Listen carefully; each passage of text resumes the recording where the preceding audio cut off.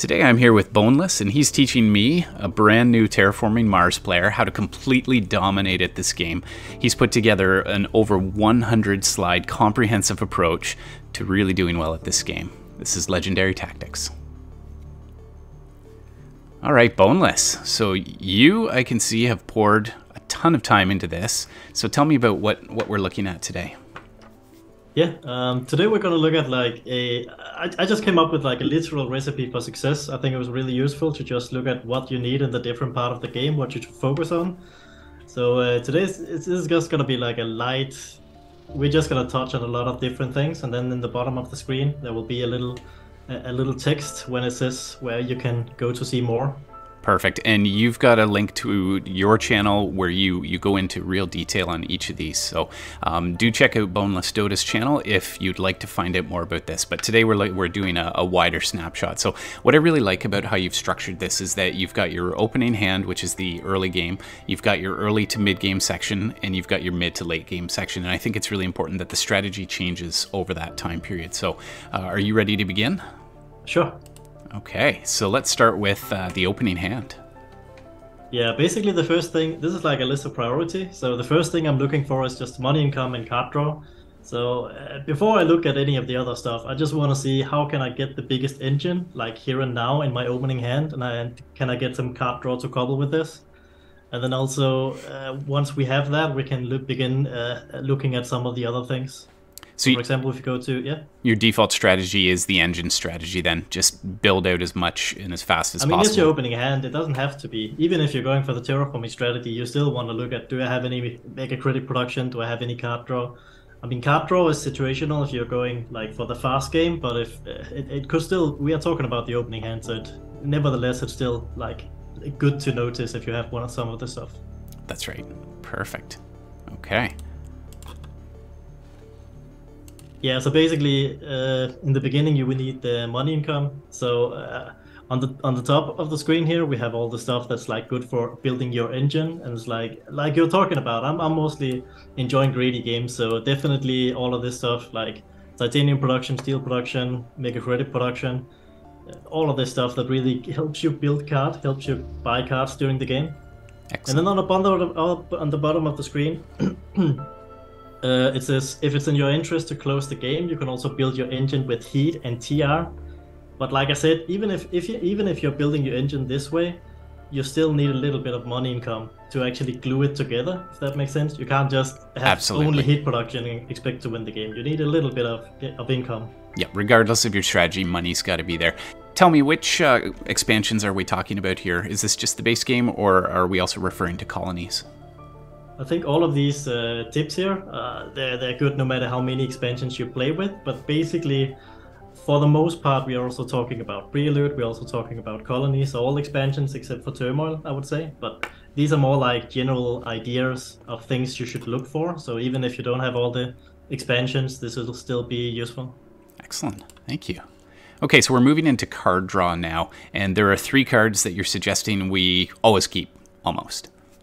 Yes, um, the only exception would be actually we're gonna get to the exceptions in just a second, but yeah, before we get to that, these three are just stellar card draw cards, I think. And the the reason these are so good is because these are like effects. So when something happens, you get a card, and these are just a little bit superior compared to just a flat flat card that just gives you a card once per generation, like as, as an action card. Okay, so you see these, take them. That's Mars University Olympus Conference and Spin-off Department. Now, there are some other cards that you should keep most of the time?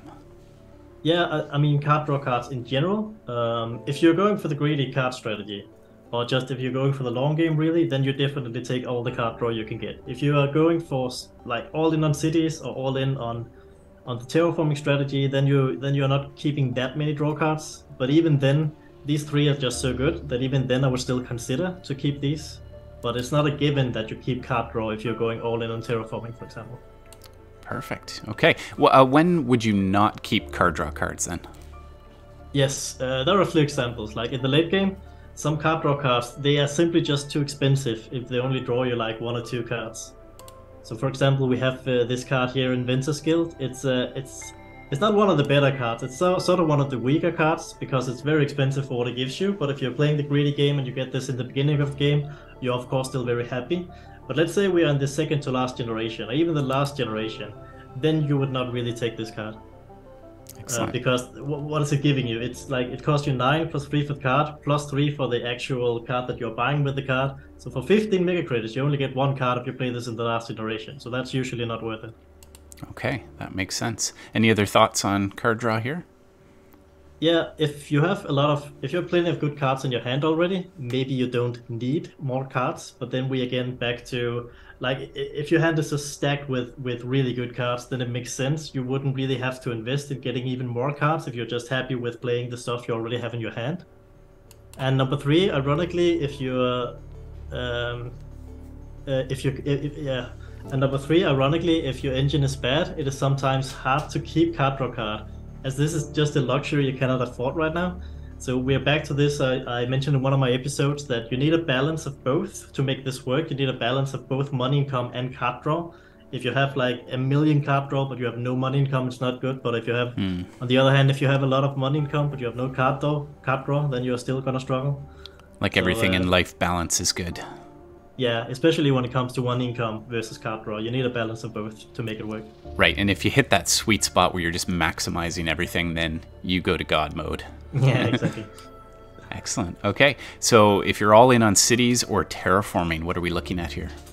Yes. Uh, so so this is a starting hand I had, for example. So in this case, my hand is just stacked with city synergy. You you might not see it immediately, but we have mm. the hmm. ecology experts, prelude plus kelp farming. So this alone is four plant production. Then we got even more plant, plant production in the hand, and we got Tharsis. We got the early settlement that I'm choosing to keep, even though this prelude is kind of bad, but in this case it's okay. So in this case, I wouldn't keep development center for, for two reasons. First of all, I don't really have energies to support it. Like if I went for power generation, it could be okay. But the thing is, if you're just all in on terraforming, or in this in this case, if you're all in on cities because this hand is so good when it comes to cities, then it's like you're just so focused on doing this one thing that you don't really need to actually get any more card draw, if that makes sense. You're mm-hmm. already like like awesome in this direction, so there's no need to, no to get more card draw to go with it. Yeah. You don't need to double up. That's yeah, right. I mean you could, but but in in a lot of cases it's just uh, uh, it's just not worth it. In this case, for example, I wouldn't keep this development center. Mm-hmm. Good. Let's move now to the synergy, and you're going to focus on the colony synergy here.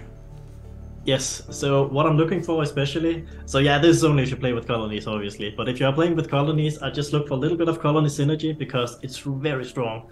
So here are the colonies, and like as a rule, to begin the game, it's very good if you can get some of these Ceres Luna, Triton Pluto, just to get some resources, get some card draw. This is really what you're looking for in the opening hand. And then, of course, if you also need to to get some energy production, you could go for Europa or Callisto. If you want a terraform, obviously Ganymede, Io. And then uh, if we go to the next slide. but but basically all of these cards here, uh, th this is like a lot of the the synergy that I'm talking about. So for example, if you've got standard projects, then or standard technology, then all of a sudden just buying a colony is for 14, and that that by itself is really good. That's right. And if we got a little bit more of this stuff, a little bit more of these cards here, then we already have a decent amount of colony synergy. And I think colonies are really good. So if you have just a little bit of this stuff, I think you should seriously consider building colonies. It really feels like you just need to take a measure of what you're being offered, find that synergy, and then start to stack or uh, amplify that one strategy. Yes. These are it's definitely about just finding finding the best synergies in your hand. Are any of my cards playing well together? Stuff like this. Okay, so especially we've got... taking into account the cooperation. Yeah. Right. We got some uh, great cards most of the time. These are sort of general card, general use cards, and then situational cards. Yeah, it's uh, um, usually it's like this, but it's it's it's not like a given, you know. But uh, I would say that all the cards to the right, usually I'm very happy when I see those, but but the two cards to the left, those are very situational. Those are more like for the mid to late game, to be honest. Right. Okay. Very good. And we'll move on to discounts now. Yes. So uh, discount is definitely also something you want to look at. Like uh, I'm, I'm, I'm often talking about that you need money income, you need card draw, especially if you want to go the greedy game. But actually, what you need more than most is card discount plus card draw. This is actually mm. way better than mega credit production. Right. If you can stack this a little bit and you can have a lot of card draw and a lot of card discount, this is very very good. Yeah, if you don't need money to buy these or you need less money, then that's much more effective. Let's take a look more at card draw and card discount here then. Yeah, so for example, like what I'm talking about, uh, this is a Theorycraft hand I made, and it's just to emphasize like like all the discount you can get and all the card draw you can get. This is like, it, it's so amazingly strong. So uh, yeah. Nice. All right, let's turn our attention to heat production. How much is heat production worth to you in the early game? Yeah, I would say heat production in the early game is generally worth 5 mega credit, but this is like only from a, a strict like engine building and VP point of view. Like, but the thing about heat production, the most important thing is that it's kind of bad unless it's in your interest to actually close the game. If you want to close right. the game, then it's immediately better. So it's up to eight mega credits or something. It's hard to say, but but yeah, okay. heat production by itself is kind of underwhelming. Yeah, but if you want to close the game, heat production, and especially with a with a heat heat combo, then it's really good. Very nice. Okay, and heat's okay if you do have a combo though. Yeah, heat is good if you have a combo. So this is what I'm talking about in the early game when I'm looking for heat synergy. Some of this stuff would be really good. For example, if you have... Uh, uh, the other day I just had a game where I had a bunch of heat production and then I randomly picked up insulation. And mm. that's perfect because now I can just pump up the heat as, as much as I want. And then I have this insurance, if that makes sense, to just go for insulation when the heat is like maxed. Right. Okay. You can also do it differently. If you want to play more greedy, you can just make a bunch of heat production and use insulation immediately. Very nice. But, uh, so, so you get more control over your mega credit production then. Yeah, heat production, it just gets a lot better if you have a little bit of synergy to go with it. That's really what I'm trying to say here. Okay. And we've got a formula here. Yeah, so uh, what I was talking about, like if you have exactly 8 heat production, then you could kind of say that it's like worth one it's, it's like one TR per generation. Mm. And if we set one TR to be eight, which I do, then it's basically eight mega credit production. So when you look at it this way, this way, it's actually kind of good. Um, so, but but this, of course, then we also have to take into account. Then you need to have a plan B for when the heat is maxed, because otherwise this math just falls apart. So if you have like Helion or insulation or caretaker contract or something, or if heat is the last parameter to close, well, then we can say this. Then we can say that one victory point per, per generation, or one TR per generation, that's exactly eight mega credit production. So gotcha. it gets a little bit better if you think about it this way, yeah. Okay. And you've got another cool combo here. Yeah, so uh, uh like if we got extreme cold fungus together with either regolith eaters or GHG producing bacteria, this is also like one free TR per generation. So that's also like eight mega credit production if you oh, want wow. to look at it that way. So yeah, that's also good. Very nice. Okay, and we're moving on to number three. Are my cards supporting a strategy now? So what strategies are we talking about? Yeah, um, basically these are the strategies I'm covering on my channel, but mm-hmm. the um, basically the most important ones would be the filthy dirty terraformer, or just the terraforming strategy if you want to call it that, uh, the greedy card strategy, and also the uh, city strategy. These are like I want to look for cards that actually support this. Mm-hmm. So, for example, if I have a, a bunch of city synergetic cards, if I'm Tharsis or something, then of course I'm looking for more cards to go with the card or the city strategy. Or if I have a lot of engine, a lot of card draw, I might just go in this direction to go for a greedy game. Or if I had like the game I was just talking about, if I just have a lot of heat production and stuff like this, well, maybe I go for the for the for the terraforming game. Yeah, this is like uh, uh Jacob commented this the other day that his his go-to strategy is actually this mid-game strategy. So uh, I just wanted to include this as well uh, because uh, it actually makes a lot of sense. So so what he does is actually he uh, he terraforms a fair amount, but he keeps a little bit of card draw, but not too much. And then he just wants to close the game exactly at the sweet spot before the greedy guys wanna beat him.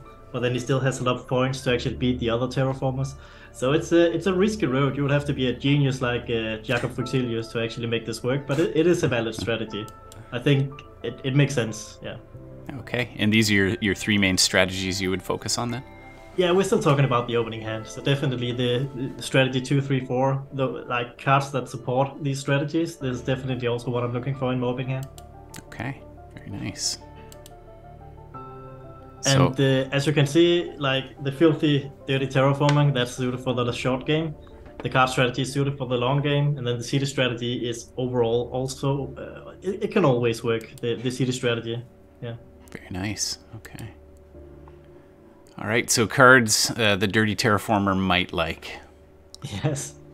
Uh, it's just this stuff. Uh, it's uh, normally I would say that if you have regolith eaters or GHG producing bacteria, you would kind of need to have a card like the one, the combo we just showed before, um, the cold fungus to actually go with that. But uh, yeah. And and you need a particular corporation to make these work. No, it's just these are just examples of uh, what you might want to look for if, if you're going for the terraforming strategy. UNMI is like the uh, the the corporation that most people are like uh, connecting with the terraforming strategy. Gotcha. Okay. Very good. And you could terraform a lot based on your opening hand, or if you realize your opponent has a better engine, you can start terraforming to close the game. We've been yeah, exactly. that, that strategy. so, yeah, and so we've talked about this as well. The terraforming strategy is better in the bigger games, four or five player games, but in the shorter games, uh, you want to close the game out uh, a little quicker. Yes. So in two or three player games, the all in terraforming strategy it just almost never works. Oh, it doesn't but, work I mean, right. So yeah. Yeah, but but in the mid game, in, in the mid game strategy, like like like I talked about before, that can still work in two player games, and also notably, uh, I'm just talking about the the strategy where you just right from the beginning just go all in on terraforming. This is what I'm talking about. That's It, it, it's entirely reasonable, even in a two-player game, to see to see like in the middle of the game. All right, my opponent actually has more luck when it comes to engine and card draw. Maybe I should now start to close the game. That's entirely reasonable. That's so right. I'm just talking about the opening hand. You want to go all in terraforming. You cannot do that in two or three-player games. It's just not going to work. I'll link to our two videos. We've done one on each of these. Uh, your two Yes. two to three player game, you scored like 278, and in your four to five player game, it was much smaller score because you closed it quickly. So I'll put the links to those there. So, okay, so can we look at what defines a greedy card strategy then? Yes, uh, real quick. Uh, first of all, you need a lot of card draw cards. You need like a bigger hand size than you would normally have. It's not uncommon that you have 20 cards when you go for the greedy card strategy. And you also need a huge engine, a lot of money income, just like we just saw. And also, you don't want to terraform too much. Like, if you actually yourself want to make sure that the game drags out, uh, you can just make make an effort to not terraform too much. So what you want to do is identify the last parameter to close, and then you should be really careful before you terraform that. It's still worth it if you get like a bonus or something, but you you should really be careful if you want to go to a greedy late game. You should be careful to terraform. And then all of a sudden, uh, also we we want card discount, and uh, like I talked about before, card discount plus card draw. That is really powerful, especially for these long greedy games. And then I'm also looking for resource amplifiers and victory point amplifiers. So yeah, this is really the stuff I'm looking for when I'm going for the greedy card strategy. Excellent. Okay, and some more strategies here. Uh, are we focusing in on the city strategy? Yeah. So the city strategy and, and and this is still like the opening hand. So in the in the city strategy, I I'm, I'm just looking for cards that support the city strategy. You know, there's a lot of city synergetic cards. Okay. So what kind of synergies are we looking at then? Yeah, definitely just stuff that makes your your city be cheaper. Or best of all, if you could get Immigrant City, Martian Rails, or Tharsis, that's really good to begin with because this will actually increase your mega credit production when you play cities in the early game. Right. But other than that, we can have there's a ton. But but but if you want to build your engine with cities, you kind of need this. But otherwise, you can just uh, if you have city cards instead of just using the standard project, that's a lot better. But then, like for example, if you have pets in your Tharsis, you just slam down pets, and you don't have to go for cities right away. But along the during the game, you just build a lot of cities, and uh, the pets is gonna absolutely make some points for you. Okay, so let's move on to milestones and planning which ones we aim for. Yeah, so also in my opening hand, I don't think you should it should not be like a big part of your opening hand, but you can like have this in the back of your head. You should still like plan which milestones to go for. Absolutely. Okay. So in the early game, you should definitely have milestones in mind, and you should always aim to get one of the milestones that naturally is coming to you on your way. So milestones are less important in two or three player games, but they are more important in four or five player games. And the reason for this is like in two or three player games, it's uh, the scores are just so much higher. So the milestones are not that important. In four to five player games, the scores are going to be a lot lower. So the five victory point you can get from milestone can really make a difference. But uh, yeah, what I was saying before, you really you you have to go for the milestone that naturally fits your game, that that comes naturally to you. Because if you're like, all right, I'm playing on the base map, I'm going for Mayor, and then you see you have Phobos Space Haven, you have Early Settlement. All right, that's two cities, and then just build a standard project city to get the last one. yes, congratulations, you got the mayor, but then you also lost the game. So right. Okay. So you tend towards getting the milestone that suits your build rather than building your build to focus on a milestone. Yeah, exactly. If it is a five-player game, you know, then it could be okay to just like like make a, a couple of suboptimal plays just to get a, a, milestone. But generally speaking, I would much rather get the milestone that naturally fits my game. That's right. Okay. So let's look at number five here. Can you afford to keep good cards for later? Yeah, exactly. So this is uh, the reason this is number five is like this is exactly what I want to look at when I've looked at the four other things in my opening hand. And the reason for this is when I have an idea of what I want to do in the first generation, then I can actually calculate how much mega credits do I have left over, and can I actually afford to actually keep good cards for later. So it's something you might consider, but just remember it does come with a cost, like keeping mm. greedy cards that you're not gonna spend right now. It can actually tank your, your hand, your economy a little bit to keep that in your opening hand, but it is worth it sometimes for sure. Nice. There's a so there are some benefits to it, but there is a cost. So uh, let's look at resource amplifiers. Yes, exactly. So we got, for example, resource amplifiers. It could be some of this stuff, like uh, especially if we're still talking about the early game. It makes sense that you would like keep some of these because some of these cards can actually help to build your engine even more. So this is definitely cards I'm looking for in the opening hand. Excellent. Okay, and plant amplifiers. Yes. Also, I think plant production is really good, but generally speaking, you want to to get this in the in the early to mid game. So if I have a lot of good, if I have some good planned cards, uh, just could be these amplifiers, could also just be plant production cards in general. If I can get away with it without tanking my economy, I could also consider keeping some of these in my opening hand. Ooh, okay. So you were talking about the Jovian strategy. So what are the Jovian amplifiers? Yeah, the Jovian amplifiers. The Jovian is a set collection of this game. So we got these four cards that says you get one VP or well terraforming uh, if you're terraforming Ganymede, but basically you get one VP for each Jovian you have uh, played. So th these cards are a very good late game. Usually you play these in the last generation, mm. except Io Mining Industries because that gives a lot of engine as well, so you can play that earlier. But if you're keeping these cards in your opening hand, then it's like uh, it's a card that you're keeping in your opening hand that you're not playing until the late game. So you have to be kind of sure that you really want to go for Jovians because otherwise it's not worth it. But that being said, Jovian amplifiers, if you're going for Jovians, it can be so strong that it might actually be worth keeping in your opening hand if you see these. Wow, okay, but you got to go all in. yeah, if you're keeping Jovian amplifiers, you have to go for Jovians. There's, there's no way around it. It's kind of the same with these cards here. Mm-hmm. These are like the green tags, uh, VP cards, so to speak. You can compare these to the Jovian amplifiers a little bit if you're going for green tags. Once again, these are also more suited for the mid to late game strategy. Um, but but these cards are just very powerful, so it wow. could be worth to keep in the early game as well. Yeah, seven VP for the large convoy and Venusian animals. Yeah, uh, that that's uh, it's not gonna be this like all the time, but if you think about it, it with the large convoy, if you have an animal card where the card animals are worth one victory point per animal, mm-hmm. and you get four animals, and there's two victory point on the card, and there's also water, so that's why it comes to seven. Oh wow! And the Venusian animal, I just I just put like my my estimation on this. So mm-hmm. I think it's not often that the Venus go to 18, but when it does, I always get a lot of value from Venusian animals. But once again, only in the mid to late game probably. Okay, so what if you're doing the science cards? Yeah, if I get some of these cards, obviously, I mean, you, you, you know the feeling. You, you you're seeing some of these cards, and you maybe you don't quite can play it in the first generation, or maybe you don't, you're still needing like maybe one or two more science tags. But these cards are just so powerful that if you get some of these cards in your opening hand and you have an idea, all right, I can probably fulfill this science requirement, then these cards are definitely also worth to keep in your opening hand. Absolutely. Okay. So now we're moving on to the second portion of the video, and that's the early to mid game. So uh, why don't we start with the resource amplifier?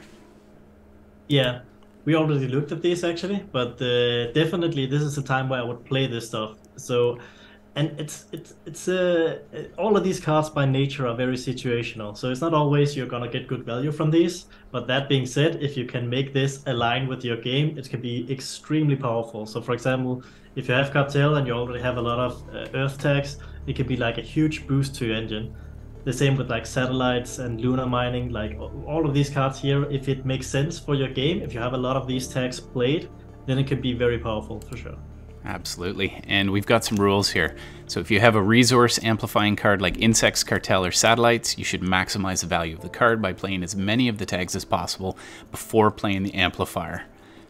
What, yes. are, your, what, are, what are we talking about there? Yeah, so for example, if you got the cartel and you have a lot of earth tags in your hand, then it makes sense. Uh, you definitely want to play as many earth tags before you actually play the cartel. Okay, just to maximize the benefit there. Yeah, exactly. But uh, also remember that this is like production, so you have to be really careful here actually, because there's also this aspect of remember production is better the earlier you get it. Mm-hmm. So it's it's kind of a balancing act, if that makes sense. You kind of want to maximize the efficiency of your card, but there's also this thing that re like resource uh, production is just better the earlier you can get it down. So it's uh, yeah, you really have to think about it. Absolutely. And what's a steady deadly combo you've got for us here? Yeah, it's like this is like a perfect example of of how you can like really go all in on just getting like a resource amplifier. Like for example, medical lab is in the vanilla set. So if you get medical lab, you have a lot of building tags. You get a strong medical lab, and then you can just slam down a robotic workforce to just double medical lab. Mm. It can be very powerful. You can like generate a huge engine like this. Easy win. All right. Yeah. All right, so in early to mid game, you, you need to decide on a strategy and go for it. So, how or when do you do this? Yeah, so um, basically in your opening hand, like you can have an idea what you're going for, but it's not until like a few generations in you're kind of you're gonna look at what everyone else is doing. You're gonna look what's synergizing in your hand. Maybe I picked up a lot of synergy synergy since the opening hand. So this is the part of the game where you really have to put your mind. All right, what what's my strategy actually gonna be today? Right, you might want to actually mine for particular cards or that type of thing. Yeah, so so you kind of have to go for like this is the last chance for you to just pinpoint yourself in, into a strategy and just commit to that basically. Okay, and you also need to decide short or long game here, I assume. Yeah, um, exactly. Like if like the rule of thumb, if you're going for the greedy long game, if you got the cards and you got the greedy engine, you want to go for the long game. And on the other hand, if your opponent got the greedy cards and the greedy engine, then you want to maybe close the game a bit sooner because the greedy player is always gonna make the most points in the last few generations. So if you let it let it drag out, that's definitely to the greedy guy's advantage. Okay. In the previous um, early phase, we looked at what milestones we wanted to eye up. Now we're talking about actually purchasing them. Yes. So in the early to mid game, this is where you buy milestones as well. And yeah, uh, like we talked about, milestones. They, I mean, they're really good when everything is said and done. To get five victory points for eight mega credits, that's of course very good. So you should always aim to get one of these, and may- maybe more of these if you can get away with it. And like we mentioned, they are of course better in in five, uh, four, five player games. In five player games, it is actually just a race, straight up race to get to mm. the hmm. milestones as soon as possible. But uh, Okay, and so if your economy can handle it, this is number 10, uh, you should pick up the victory point amplifiers, but don't play them. Why is that? Yes. I mean, this is like in the same line as you could pick up good cards for later in your opening hand. This is like, it's a little bit less risky to actually pick them up now here in the early to mid game because now you haven't griefed your opening hand so much by doing this. But like we mentioned, these Jovian amplifiers, for example, they can be very powerful in the late game. So I'm definitely looking to pick up some of these VP amplifiers at this point, especially in the mid game. But I'm not actually gonna play them. Like for example, in the Jovian amplifiers, you don't want to play until the last generation, except Io Mining Industries. Okay. And uh, if we're looking at the green versus Jovian amplifiers. Yeah, this is also something. All of these cards here, basically, they're really good to pick up in the mid game and if you if we're talking about like decomposers, ecological zone herbivores, maybe you also play them in the mid game because mm. they can actually stack up a little bit. But but generally speaking, most of these cards should be played like in the late game. But but that doesn't mean you can't pick them up now. This is the part of the game where I would pick up these cards because they can be very powerful and give you a lot of points late. Okay. Yeah. All right. So what do you do with plant production? When when should you be doing this? Yeah, I would definitely get plant production in the mid game. I think mid game is like this the sweet spot for when to get plant production. Uh, the thing is, at the very least, you need to build like a little bit of money income, a little bit of money engine before you can actually justify going for uh.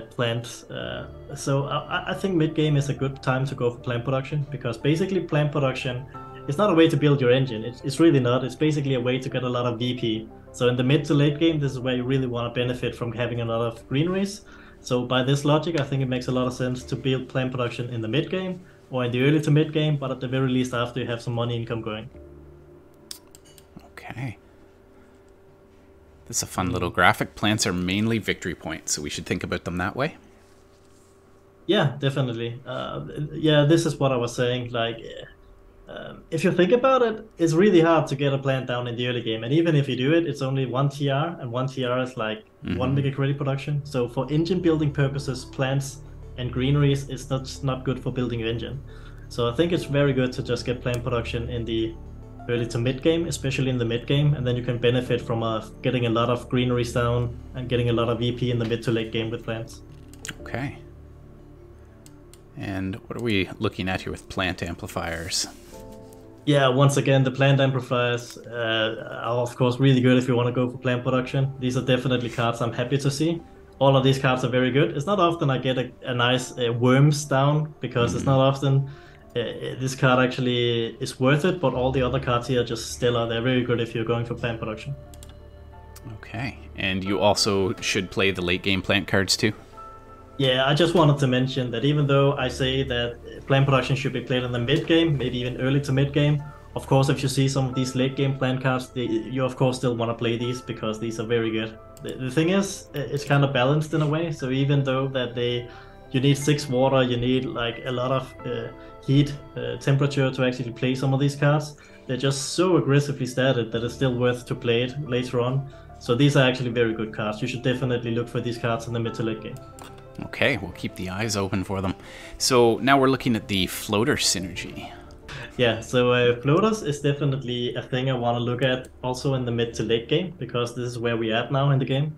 So, uh, and the thing is, I think floaters synergy can generate a lot of VP, and uh, this is why I think it makes a lot of sense to play these in the mid to late game. Okay, and, there's a few uh, exceptions though. Yeah, there's a few exceptions that are better for the early game, but uh, generally speaking, I actually pointed them out here. So, like, if we're talking about uh, aerial mappers, dirigibles, I have no idea how to pronounce this, Titan shuttles, Titan floating airpad, local shading, Atmo collectors, some of these cards are really good in the early game. It's a bit awkward to pay Titan shuttles in the early game, but just because it's so expensive. But at the end of the day, it is titanium production, so it could make sense. And you might be thinking Atmo collectors and uh, stuff like this. Well, why is this really good? But the thing is, uh, this is a uh, this is a colonies card. So if you're playing with mm. colonies, you also need to get three energy production. So this card, Atmo Collectors, is actually very good to play in the first generation at the start of the game because you, you just automatically get three energy production because you can make one floater into three energy. Okay, wow. Tell me what are what are the five things you can do with the floaters? Yeah, definitely. Uh, I, I just boiled it down to five things that I thought is really good with floaters. So first of all, if you go for floaters, you really should look for Jovian Lanterns and Floating Habs because these are the two floater cards in the game where the floaters are worth two uh, or one victory point per two floaters. So so and there's so many cards in this game that I can actually put floaters onto another card. So this is why I think these cards are really good. Also, you can look for combo. So some of the combos, for example, we got Stratopolis Enforced Pre- Precipitation. Precipitation, yeah. Precipitation, yeah. Nice. I have no idea how to pronounce this card. It's, yeah, I'm, That's okay. I'm you're here to help me. English is your second language, so you help yeah. me with strategy, and I'll help you with the English. It's great. All right, that's a deal. but yeah, if you look for some of these uh, combos, also this is a really good one. Hydrogen to Venus and floating habs. This is something you really want to play in the late game. Because if you think about it, Hydrogen to Venus is like uh, just a half of a Jovian amplifier, especially mm. if you use it in conjunction with floating habs. So if you can get these two cards together, it can be really strong in the late game. It, it can generate a lot of floaters to your floating Habs card. Awesome. And number three, you aim to get Hoverlord and Venuphile. What is this? Yes. Oh, the oh, so, the milestone and the award. Okay. Yeah, exactly. So if you are playing with floaters, in generally speaking, then it makes a lot of sense that you go for these two because it just goes hand in hand. Yeah. It does. Number four, you're aiming for a card with a Venus requirement, like Venusian yeah, so animals. Yeah, exactly. Venusian animals is the big is the big one I'm talking about. But uh, all the other, there are a few others like Venusian insects and a few others, but basically all of these cards are not the impactful one. This is definitely the most impactful one. If you can ever manage to get Venus to 18 and play Venusian animals, and you still have time to play a lot of science tags, the value can get quite insane. I've had games where this card just gave me more than 20 victory points. It's, it can get quite nuts. Oh wow! And the fifth time, the fifth uh, way you can use floaters.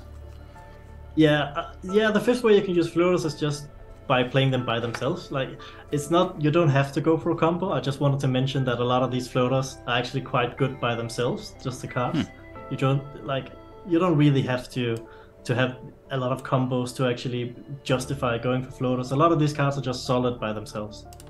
Okay. Very nice. Okay, moving on to the green tag synergy. Yeah. So uh, the green tag synergies, that's actually where you just uh, you you don't want to terraform too much, but you just want to collect bucks. That's really what it's about. So uh, this is also some stuff you want to look at in the mid to late game. And once we're talking about the green tag synergies, of course, I just have to give an honorable mention to meat industries because as soon as we have floaters or animals of any kind, these three cards here, those are just very, very good. Yep, and I have to give an honorable nod to the pun meeting the demands for high protein foods. That's terrible. Yeah, exactly. Yeah, that's really good. All right, so we've got a deadly combo here ants, yeah. Venusian insects, and yeah. uh, these two cards uh, Extreme Cold Fungus and Bactoviral Research. Yeah, exactly. In the mid to late game, these are the combos you want to be looking for because these combos can give you like, what is it? Like depending what card, we, card we're talking about, we're talking about Extreme Cold Fungus. It's like one point every generation. Plus, right. you can also use the card by itself, so it's like one and a half point per generation.